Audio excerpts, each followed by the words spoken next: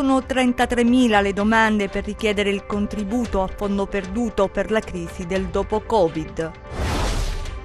La paura di contrarre il virus tiene lontani gli automobilisti dalla sosta nelle aree di servizio, si stima un calo del 40%. La sentenza del TAR da ragione a Graziano di Natale pone fine alla lunga diatriba con il sindaco di Trebisacce per un posto in consiglio. Probabilmente è stato un malore a causare la morte per annegamento di una donna Catanzaro Lido.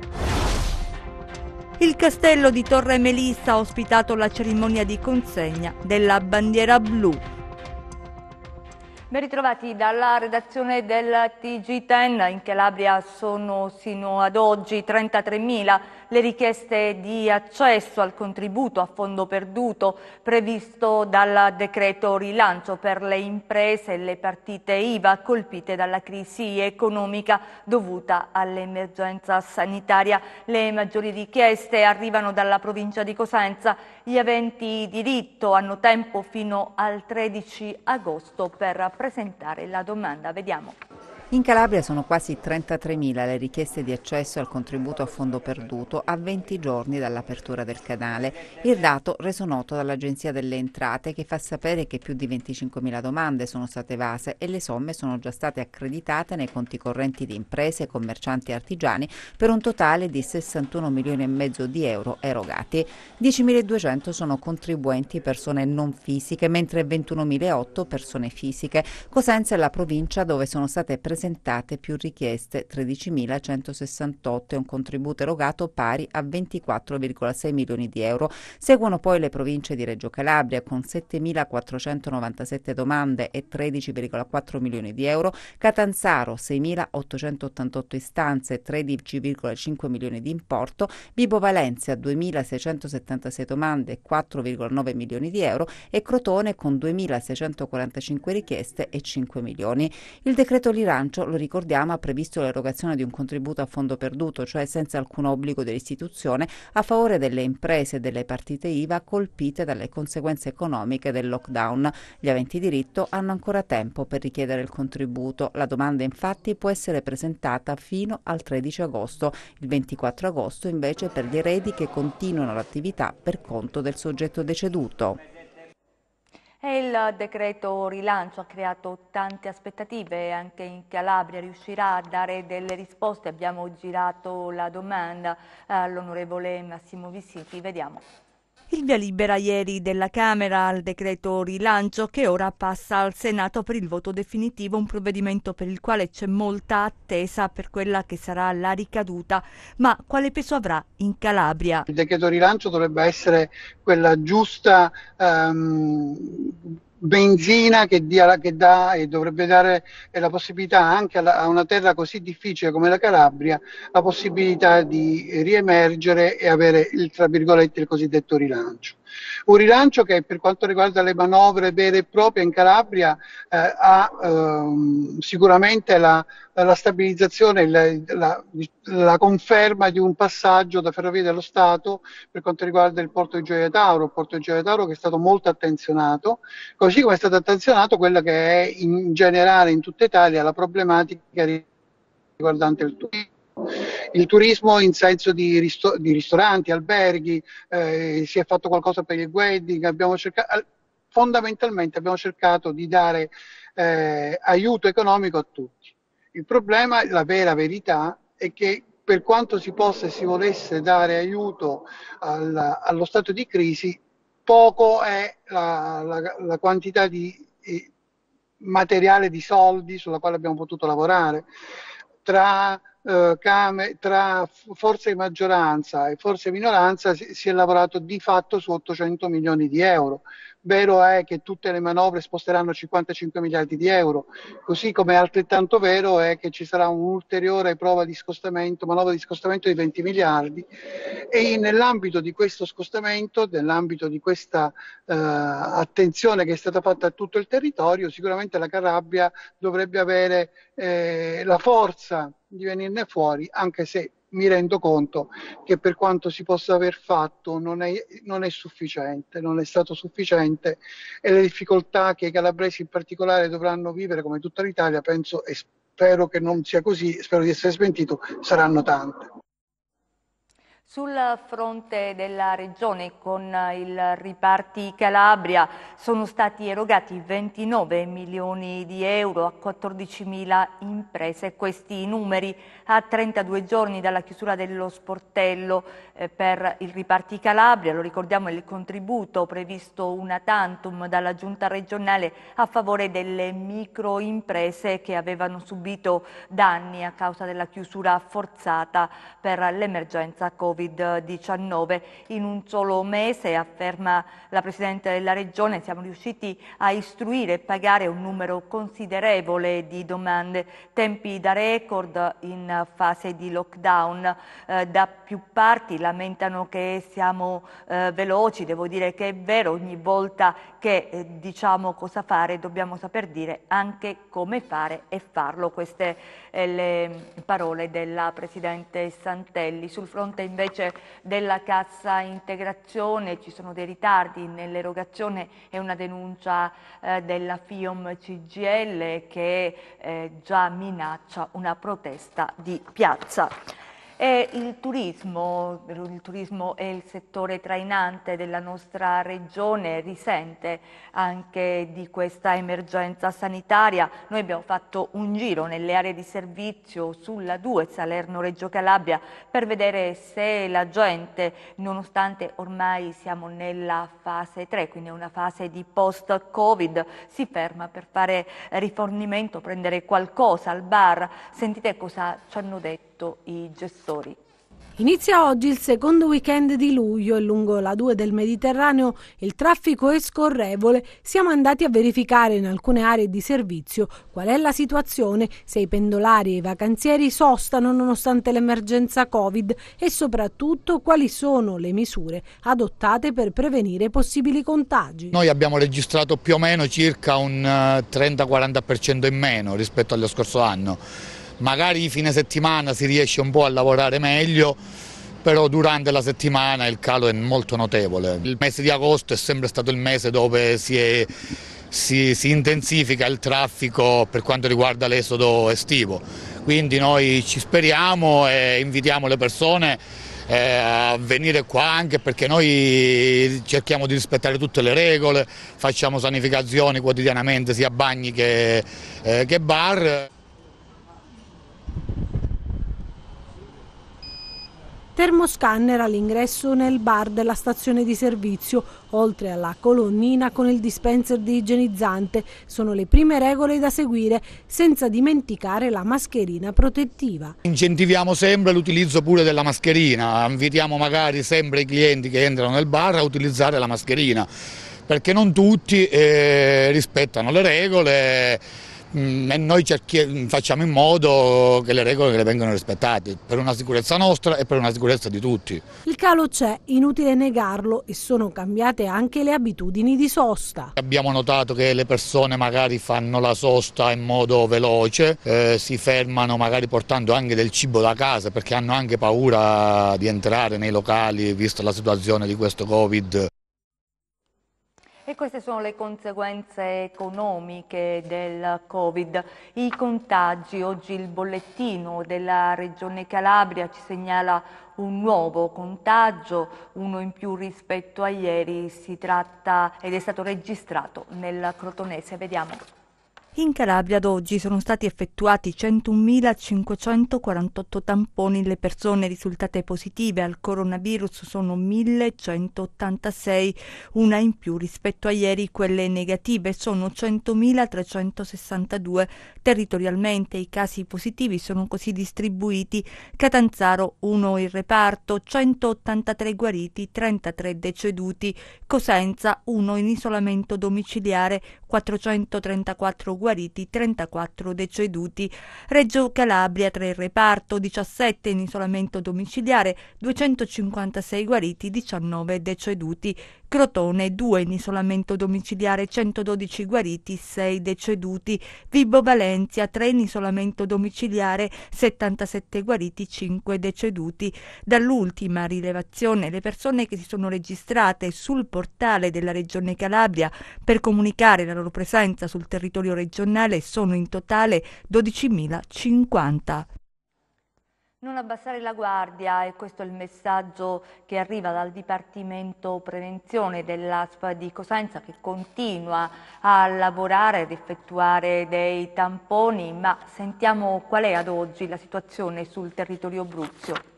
Il servizio prevenzione dell'ASPA di Cosenza lavora quotidianamente sul fronte coronavirus, non bisogna abbassare la guardia, il messaggio è chiaro, ma oggi qual è la situazione?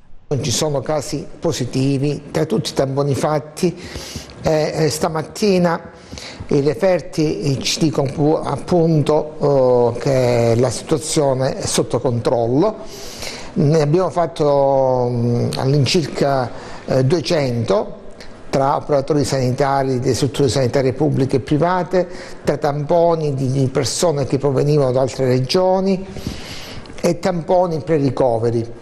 Quest'ultimi non devono farci pensare che sono inutili perché proprio questi hanno, hanno, messo in evidenza una positività di un nostro concittadino in Nord Italia, concittadino che è andato a fare un, eh, accompagnare la moglie per un piccolo intervento e che è costretto in uh, quarantena insieme alla moglie in attesa che si negativizzi.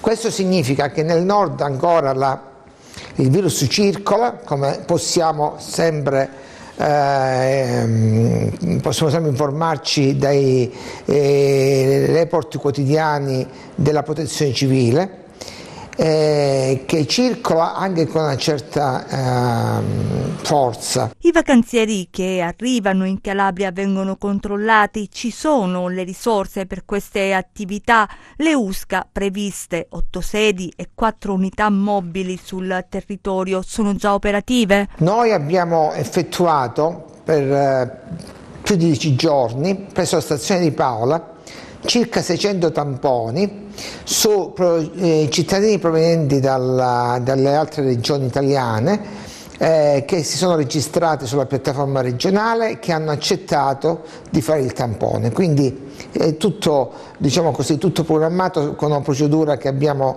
standardizzato ormai.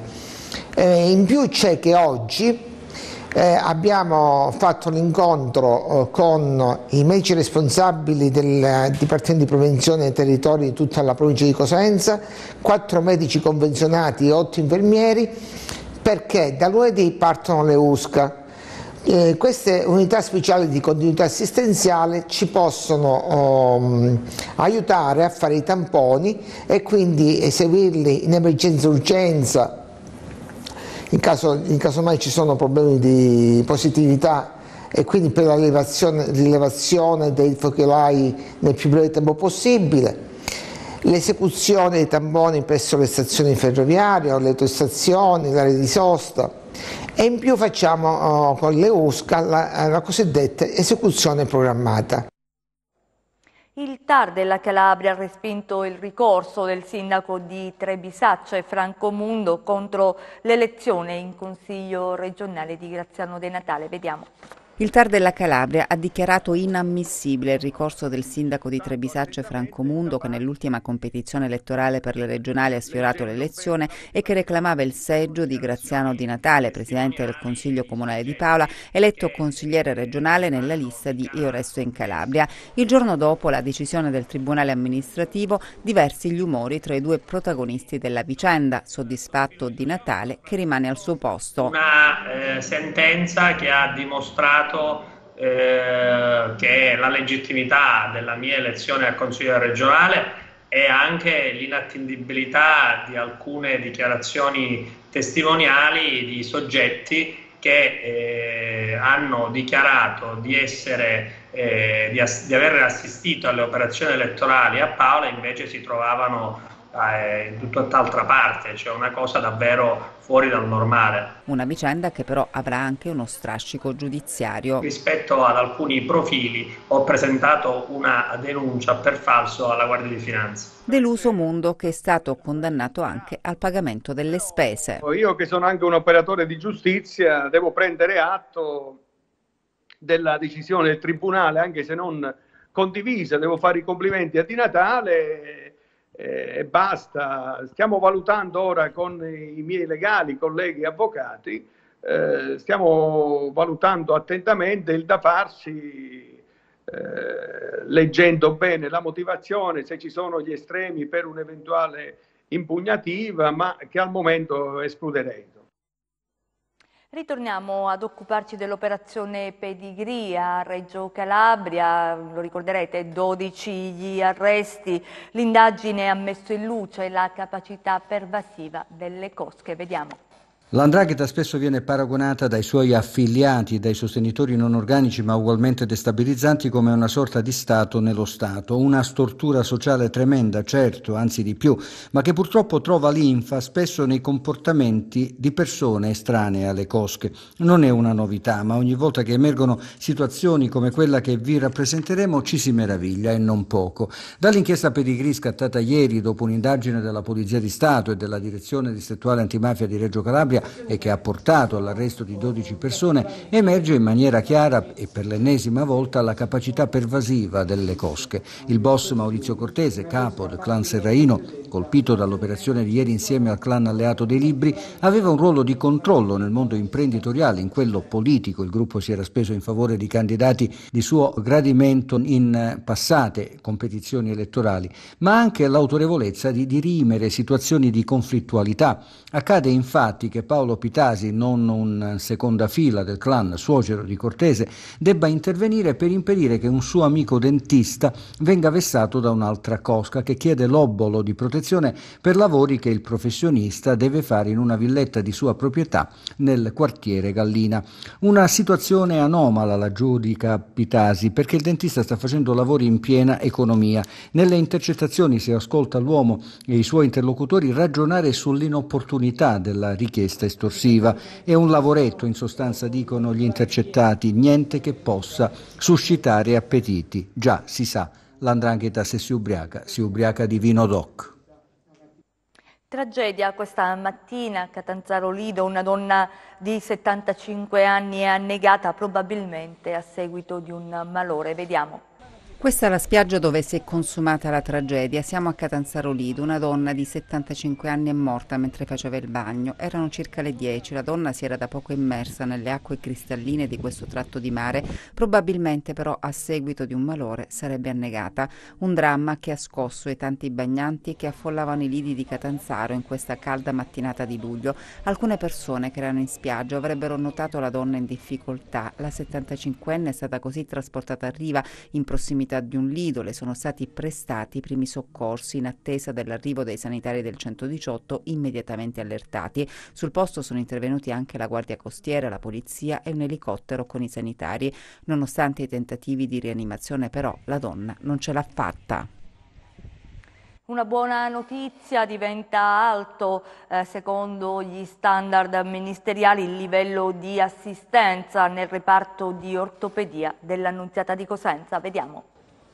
Il reparto di ortopedia dell'Annunziata di Cosenza invetta le classifiche nazionali per la tempestività degli interventi di frattura del collo del femore. Il 74% degli interventi eseguiti entro due giorni. Il dato riferito al primo trimestre consente al nosocomio Bruzio un piazzamento di rilievo nelle classifiche nazionali dove lo standard medio si attesta al 64% e certamente al primo posto in Calabria, un risultato che è stato possibile raggiungere, ha dichiarato il direttore dell'unità operativa complessa di ortopedia Gualtiero Cipparrone a seguito della revisione del modello procedurale fortemente voluto dalla direzione strategica che ha coinvolto sinergicamente le unità operative di ortopedia pronto soccorso, anestesia e rianimazione, lavoro in team, implementazione e piena operatività del percorso diagnostico assistenziale,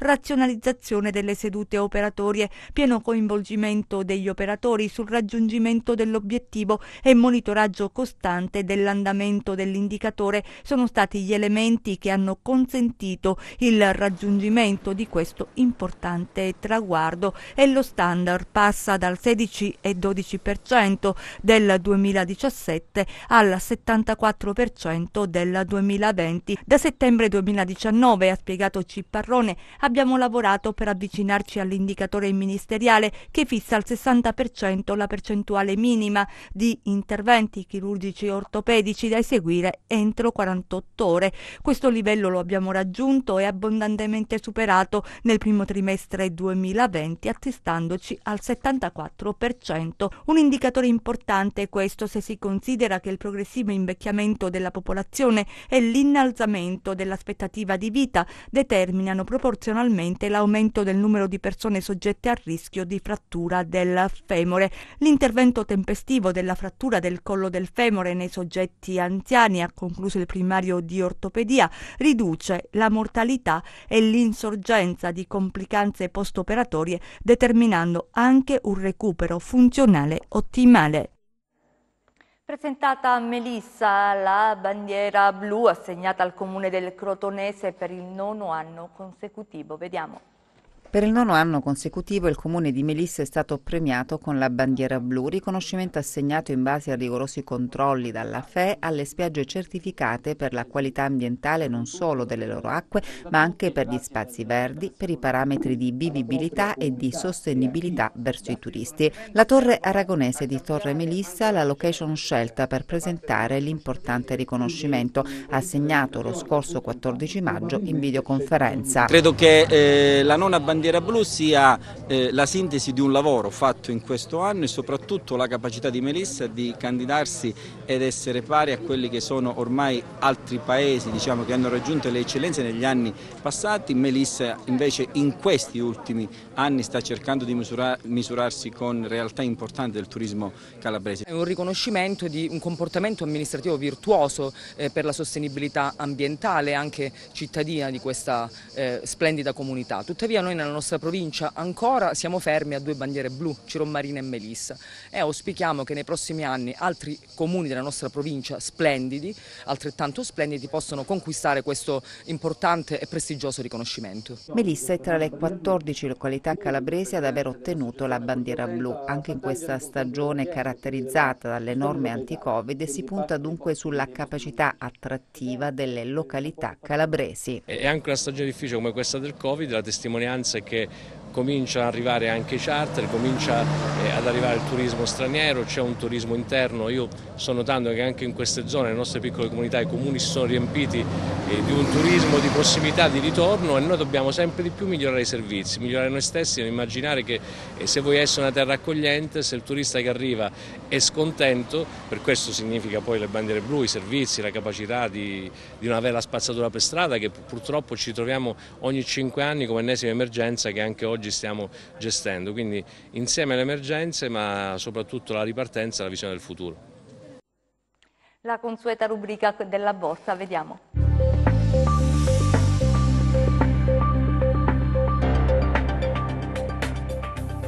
Chiusura e rialzo per le borse europee, mentre Wall Street migliora rispetto all'apertura, in scia l'ottimismo per i progressi nelle cure contro il coronavirus. Se da una parte gli USA hanno registrato il record giornaliero di decessi per Covid-19, oltre 60.000, con situazioni critiche in Florida, Texas e California, dall'altra Gilead Sciences ha reso noto che il suo trattamento Remdesivir riduce la mortalità del 62%. Gli operatori restano comunque preoccupati dall'eventualità di nuovi lockdown e guardano a possibili nuovi stimoli per l'economia. Intanto in Cina si è interrotta la corsa dell'azionario in scia alle vendite dei fondi statali che segnalano la volontà delle autorità di rallentare il passo ed evitare lo scoppio di una bolla finanziaria. A Milano il FUZMIB archivia gli scambi in progresso dell'1,3%, seguito dal DAX di Francoforte e l'IBEX 35 di Madrid a più 1,1%, il CAC 40 di Parigi a più 1% e il FUZ 100 di Londra a più 0,8%. Oltreoceano andamento contrastato per il Dow Jones a più 0,6, l'S&P 500 a più 0,3 e il Nasdaq a meno 0,1%.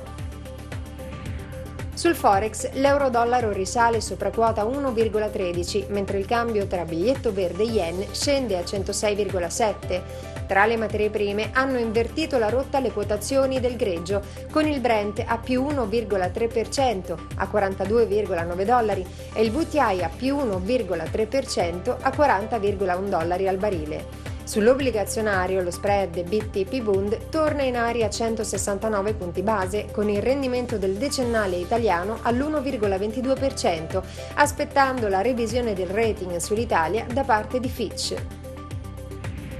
Tornando a Piazza Affari, tra le big cap avanza STM a più 5,1, in evidenza anche Interpump a più 3,1%, ben intonate le banche, mentre arretrano Recordati a meno 1,2, Saipem a meno 0,8 e Inuit a meno 0,7%.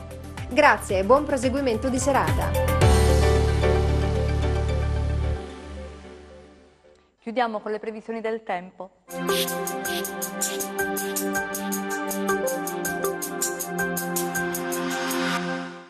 La presenza dell'anticiclone sul Mediterraneo centrale garantirà un fine settimana stabile e soleggiato sulla nostra regione, con temperature in momentaneo leggero rialzo che risulteranno di qualche grado al di sopra delle medie stagionali. Domani cielo sereno ovunque, temperature in leggero aumento. Passiamo a mari e venti, domani poco mosso il Mar Tirreno con venti dai quadranti occidentali, calmo il Mar Ionio con venti e regimi di Brezza. Prima di salutarci vi ricordo il nostro sito web www.meteoincalabria.com e la nostra pagina Facebook Meteo in Calabria. Ci fermiamo qui, grazie per essere stati con noi, grazie in regia Michele Cava, in messi in onda Giuseppe Costanzo, noi vi auguriamo un felice weekend.